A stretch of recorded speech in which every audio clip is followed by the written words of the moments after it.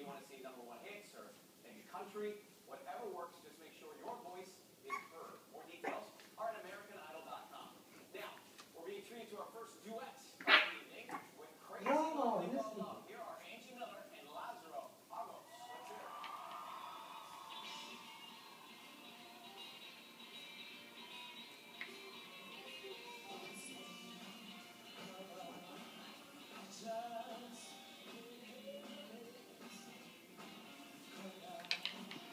thank